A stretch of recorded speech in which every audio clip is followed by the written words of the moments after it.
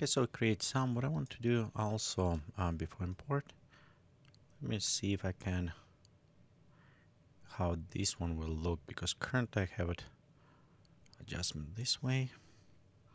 Can duplicate it and maybe you know what? What if I just put it right slightly right here a little bit because this is look interesting but I think if we just bring kind of that way maybe look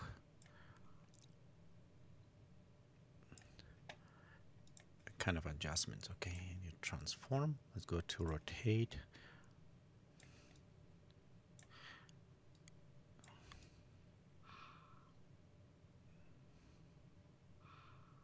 A little bit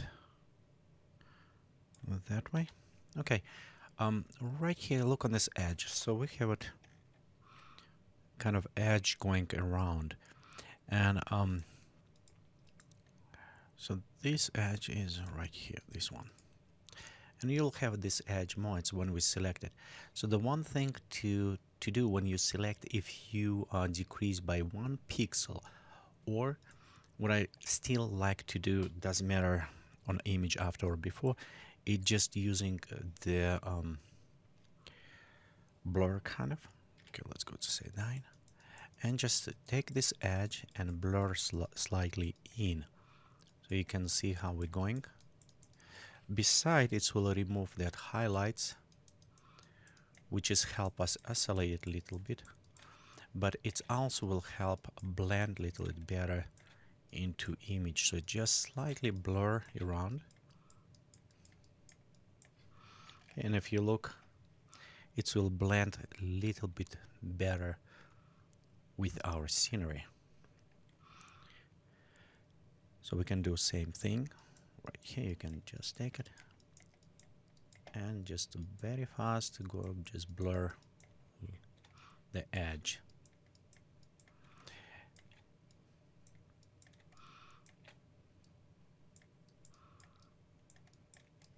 Okay we'll go over. Don't need to be too much on the details. It's look fine some of them will look okay. And right here for example let's look very well work with a kind of snow outline so it's well good. But again if you want it just when select um, shrink selection by one pixel and it will cut off. But overall so I'll keep it this way. Um, let's go right now and uh, we'll go to bring our characters. We'll see which one to want to use it. So I have a two um, castle or sci-fi so I'm probably just for this tutorial I'm going with this um, kind of castle looking. Church or whatever we can call that. Let's go select. Because on this case you know we can place this somewhere around um, and again you see around it's what I actually forgot to do. So let me delete this layer. We'll go right here and you can select modify. We can contract and let's do by one pixel. Okay next we go move in. So we'll just cut some of that elements. Um, let's go to edit transform and we'll scale this just down Oops, and we'll see where we want to place it. So you can look we can place it this actually um, okay we can take this one let's go put up front and we'll place we can place it right around here or in a mountain hiding or maybe far away but it must be very small. So it does maybe worth it to take this oops control Z. Okay just hide accidentally put it in this layer okay? Maybe it does worth to place it somewhere like around here or place a little bit more far away on a mountain. If we put it far away on a mountain around there we need shrink more and put it in some other places. So you can kind of play around see which way you want to put it. But I think maybe right here will be interesting and we'll go scale and bring it way down. The reason why I'm bringing down because the overall scale I want to keep this um, more realistic so we'll bring right there maybe.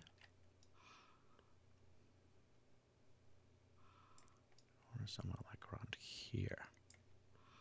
So I think this may be okay place um, let's bring person and say we, I can probably do this or bring other ones. We'll figure out where to bring where to put it. I'm going right now to open.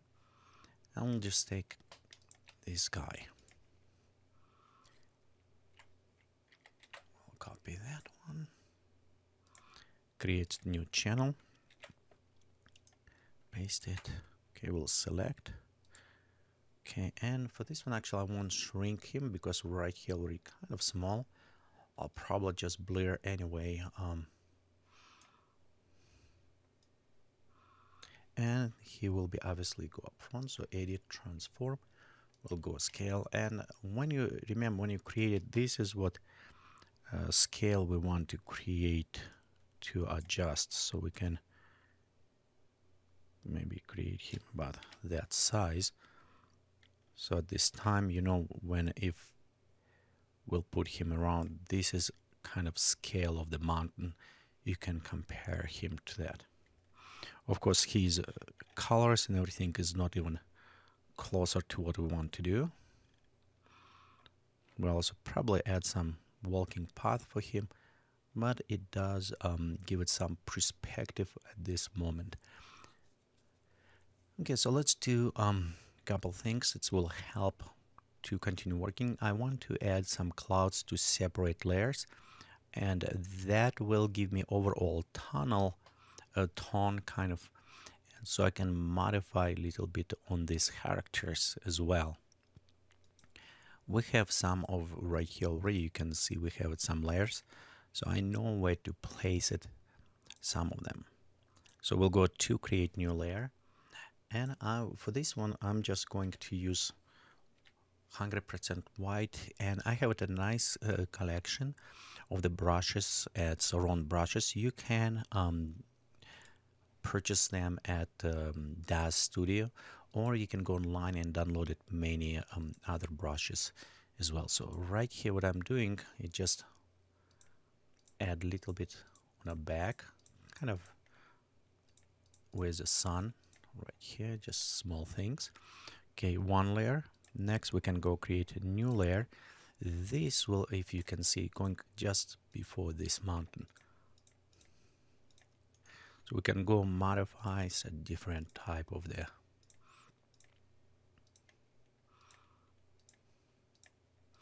kind of effect. Um, also switch to the soft light sometimes does effect and combination between soft light and normal may give you kind of nice um, effect of embedding I'm not sure if this sky I still like it. I maybe need correct color on this sky because maybe it's too dark for me. I may want to create some different color. We'll see but for now it's this way.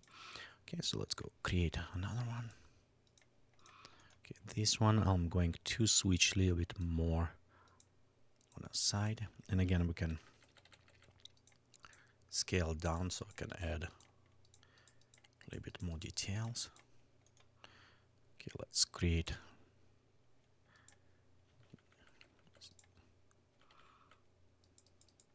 kind of like right here. Again, you can see how the layering going. Okay, we'll go create a new layer from mountain right here and it's just add another separation.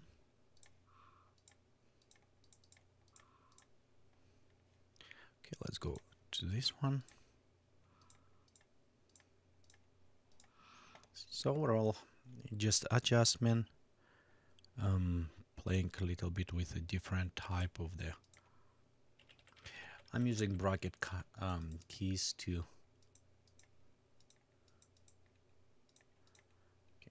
bring distance to this area. Maybe a little bit touch up on the sides. Okay, um, how I said before, I maybe don't like how color it is, so I'm going to use it curves for this. We'll go to the blue, and we can see we can um, kind of bring a little bit bluish and cyan maybe color to this. A little bit less on a red. Kind of a little bit colder look right here, just slightly adjustment. Okay, next we have these two groups, so let's add and I'm just adding a little bit more fog around this area. And again right up front right here let's select. And we'll just go ahead and add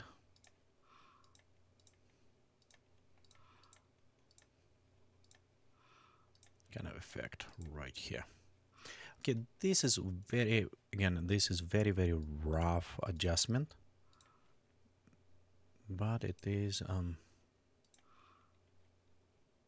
help somewhat create a theme so kind of see how the lighting and how the smoke is or a smoke or the going distribution on that one. Okay so let's go to um, adjust little bit on this temple. The one thing of how we can work on a distance to apply to the temple it is with distance you lose details and you also lose some coloring. So for example okay we have um, our temple right here. Let's just rename this. So this is our temple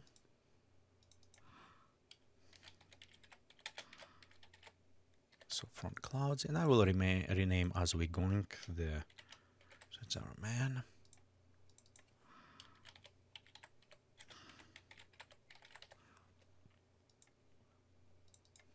Okay. Clouds 2 set. And um yes I okay so right here temple what I want to do is creating um, hue in saturation and we'll take saturation and start bringing down till it's kind of almost blending inside.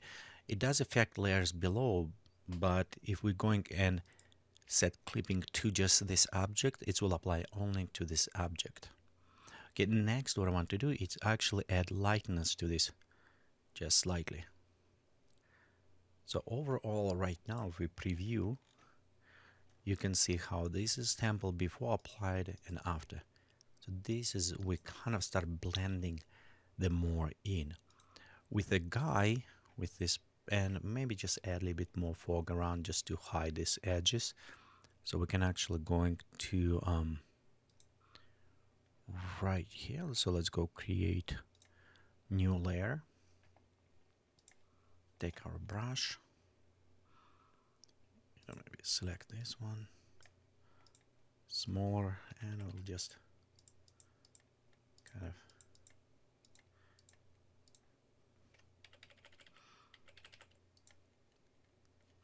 add a little bit more foreground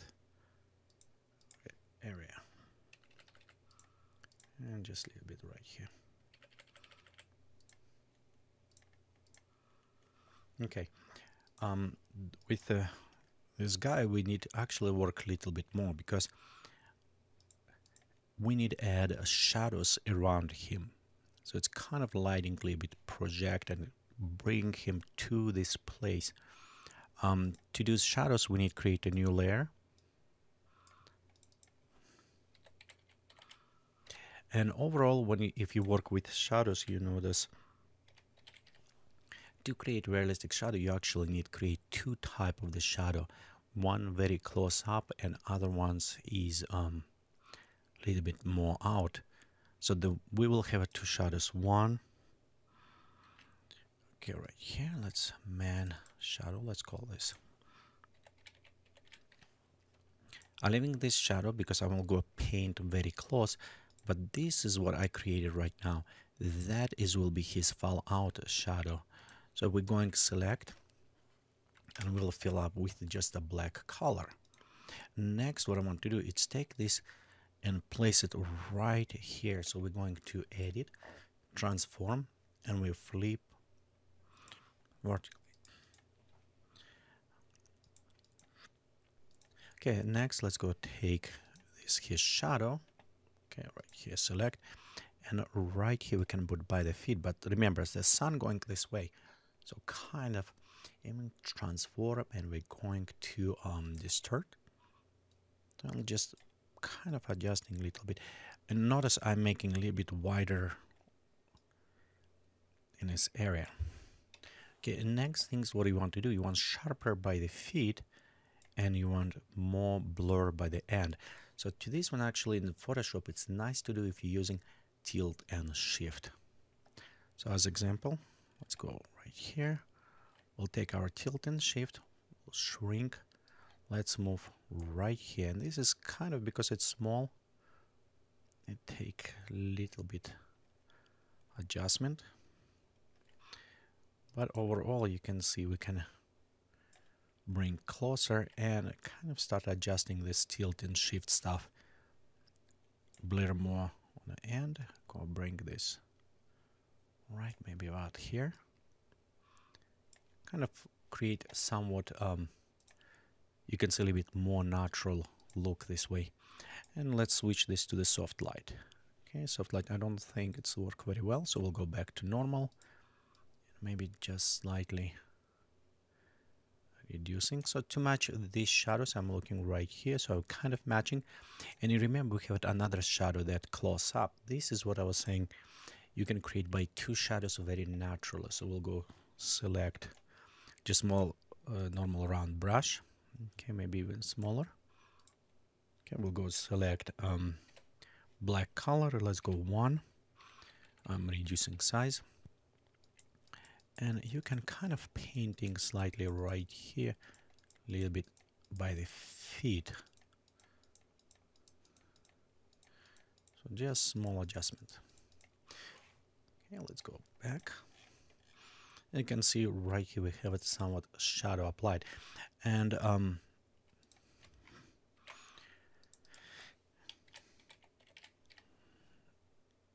okay so the shadows is let's look without and with. And you can see now we have this character more kind of assigned to our place.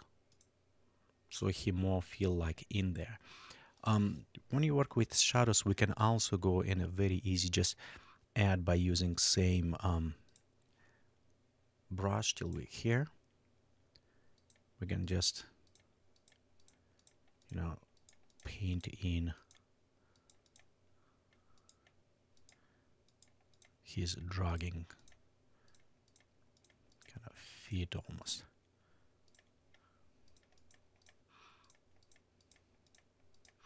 Okay, let's take blur tool, pop up one, and just slightly blur it so we don't need it too sharp.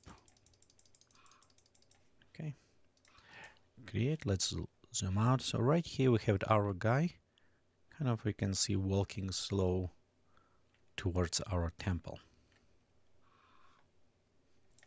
Okay, so in the next what we're going to do, we're going to create this mountain a little bit more far away. You remember how we did with haze and coloring? So we'll start adding some distance and feel to this far away mountains with some curves and adjustments. So let's do this in the next portion of the tutorial.